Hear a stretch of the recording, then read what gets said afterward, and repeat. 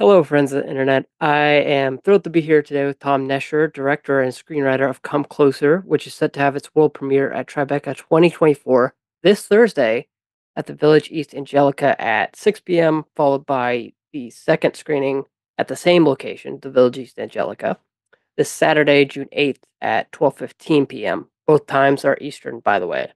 Come Closer is a drama about Eden and her increasingly desperate measures she takes to fill the void left by her brother's absence after a tragic accident. Tom, thank you uh, so much for joining me today.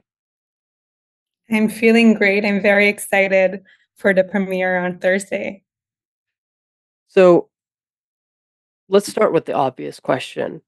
Uh, where did the idea for the film come from?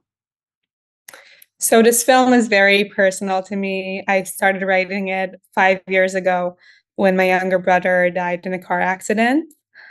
We were extremely close, and I really wanted to make a film that he would love. So, not like a sad family drama type of film, but more of like a fun coming of age that is both funny and provocative and has all these different elements in it. Mm-hmm. And then I just started writing this film, and here we are five years later in New York. Sorry for your loss. It's been, it'll be 10 years since my dad died this June. Sorry to hear that. Oh, thank you. But I can I can understand the I, I guess I could say I could I deeply relate to filling that void and trying to make something they would love versus, you know, mm-hmm. that kind of self editing you have where it's like, well, I want to make it this way, but but uh, you know, so I guess let's talk about that. I can say about dealing with loss through making this film that I really felt coping with my own grief that I need this lifeline. I need like a way that I can keep my brother alive. And that's also the thing that is driving my main character, Eden, in the film. She's trying to keep her brother alive. She's trying to like keep on living him, get more out of him, more clues about who he was, what he was hiding from her, to keep their fun lifestyle and to keep their love alive and the relationship she has with Maya, his girlfriend, was exactly this thing. And I felt like for me, the relationship with the film was this thing, like just having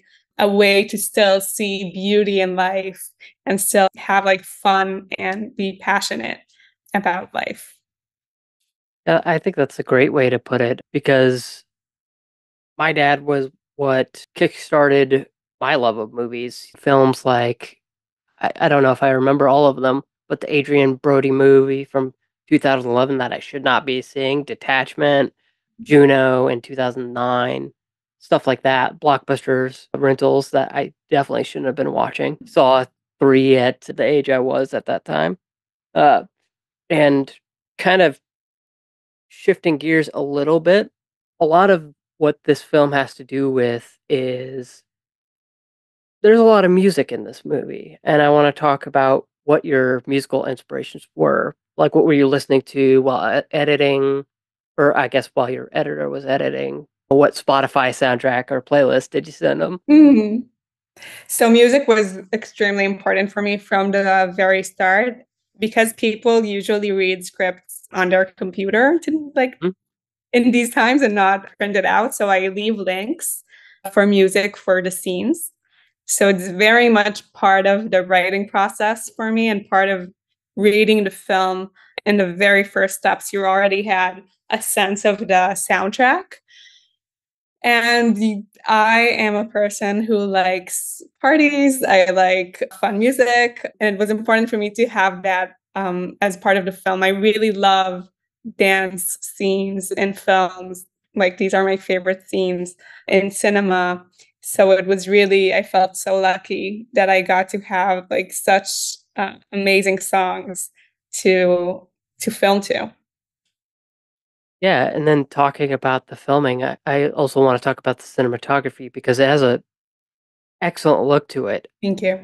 Uh, beyond re- references to other films how did you and the cinematographer i believe Shai Peleg work yeah. together to create the look for the film so Shai is very special because he is so fearless and Mhm. so unconventional. So we had like a very small budget and we went crazy with the things that we do. Like what we did, like the producers were very uh, unhappy in certain parts of the film just because he was on a skateboard, like going through Tel Aviv with the camera, like not secured in any way, or like in the scene in the water. I won't give a spoiler, but there's a long scene in the water towards like the climax of the film. That was also an insane scene to shoot, and the actresses were also so fearless and amazing. We all we brought like a stunt woman, and they didn't want us to use her they just didn't by themselves. Also, the one that she's peeing from the truck, she did it by herself, and that was amazing. So Shai, our DOP, was just very courageous, and I loved working with him. Yeah, probably breaking the uh, rental uh, agreement rules of the camera. Mhm. And we shot also, that's maybe important to say, we shot a lot of the film during the rehears- rehearsal process. We shot it on an iPhone and then we like recreated it with a camera. So we had a lot of like I have scenes that I edited already on this laptop uh, before we actually shot them, just to see how would they translate um, when we do shoot them. Yeah, talk to me a little bit about what that's like because um, I know a lot more filmmakers are using iPhones to film Mhm. um, film either shorts or um, I guess in the case of Steven Soderbergh, uh, full features with the iPhone. I guess what was that process like? I feel like we're very lucky to live in a time where we have such abilities to use technology. Like, for example, you can be a person like me that is a director. I'm not an editor, I'm not a DOP, but I have Premiere on my computer and then I can edit stuff by my own. I can shoot on my iPhone. And then a lot of the process of making the film, the pre production, we felt very confident in our decisions because we tried out a lot of things on our own with no budget. It's like we just did it by ourselves. And then some of the shots that were shot on iPhone are in the film. In the scene where one of them is in Poland and the other one is in Tel Aviv, we actually used shots from an iPhone. And that's amazing that we can do that because films are so expensive. Yeah, that's awesome. And my editor brain is asking, how many times did Premiere Pro crash in, in, in while editing? Uh, not so much. I have a good computer, good laptop. Yeah. Anyhow, yeah, that's intriguing. Like, I think that's so cool because I mean, I've got an iPhone here. I'd love to see more people using it for what would be previs, I guess, or Mhm. concepting, because I mean, everyone's got a phone, uh, and w- whether it be an iPhone, Samsung, you know, it doesn't have to be an iPhone. I, I think that's just so interesting, and I think a lot of these editors are getting really good at and when I say editors, I'm talking about like Premiere Pro, DaVinci Resolve, Mhm. so on and so forth. I- iMovie in some cases are getting so good at color grading, being this one Yeah. and all stop shop. Really, you could have a rough cut of the film and then go actually shoot it so that you have more of an idea, which I think you already said something about saving a lot of budget that way. I imagine that's a 10 day shoot or however long just to give an example a 10 day shoot might be only five days or so Yeah. like cut in half because you don't have to do all that like oh i gotta reset because i didn't like the way that looked or something like that Mhm. Totally. We had only 20 days to shoot this film. And a lot of scenes we had like only one or two takes for a shot. It was very fast. of It. And because we came so ready with the rehearsals, the actresses were so ready. The DOP knew exactly what he was doing. I had an iPad that I was doing drawings and having the shots that we shot on the iPhone before and everyone had it with them. So it was very easy to get to what we wanted to achieve very fast. i'm sorry to harp on the technical stuff but you said you just have an ipad did you see that apple is doing a thing where you can direct iphones from the ipad they'll have like a camera app where you can uh, Wow. live direct in the in the, I think it's called Final Cut Camera is what it's going to be called. That's amazing. But didn't hear about it. yeah, but I imagine again going back to saving time. I, I'm Yeah. sure that'll save a lot of time just doing multicam right from the iPad, and yeah, that Yeah. sounds amazing. And then you know, I'm sure you've got a MacBook, so you could pull that in AirDrop and all that stuff. Mhm. But But yeah, getting out of the technical stuff, I'd love to ask a me- mega question. First, how does it feel to be in Tribeca? I, I can't remember. Is this your debut feature, or so? How does it? That, that's part one. How does it feel getting into Tribeca, being in the viewpoints category, and then uh, the second part would be, what do you want audiences to take away from seeing it at Tribeca? It feels amazing. I'm so happy to be here. I was born in LA and lived in New York until I was five, and I haven't been here for a very long time. So it's exciting to be back. And in this in these circumstances, it's extra special.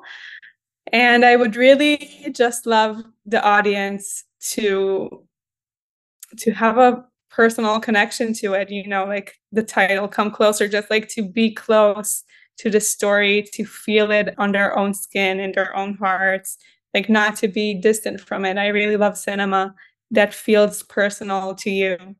Like for example, like if if a film is your favorite film and then someone else loves it and you say like thank you, like you made it, but you didn't even make it. It's just so important and personal to you.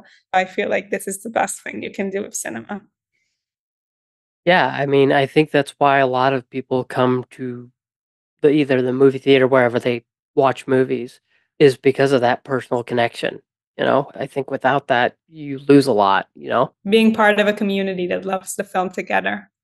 Right. Even the guy who, you know, screams look around the corner in a horror movie and then. I have to kind of roll my eyes uh, or or uh, spoil something, but uh, that's a topic for another day. Uh, Tom, I want to thank you uh, so much for sharing your time and your insights and letting me go on tangents about e- video editing and uh, iPhones and things like that. Um, for those watching or listening that will be in Tribeca, you can catch Come Closer this Thursday at the Village East Angelika at 6 p.m. And then there will be a second screening at the same location this Saturday, June 8th at 12:15 p.m. Reminder, both times there are, are in Eastern time. So if you're like coming from, I don't know, Connecticut, make sure you have like time zone app or something like that. Uh, or open the clock app to make sure you've got the right times. Links to both of those screenings will be located in the description so you can buy your tickets. And I'll have a review of Come Closer this Thursday, June 6th, along with all the other Tribeca co- coverage you'd think and expect throughout the month of June. But thank you again, Tom, for taking time out of your, let's see, is it morning? Yeah, morning. Sit down and talk with me. Yeah. Thank you for inviting me. Yeah, no problem. I hope you have a great Tribeca. It, it's looking like a good one. Thank you. Have a nice day. You too. Bye.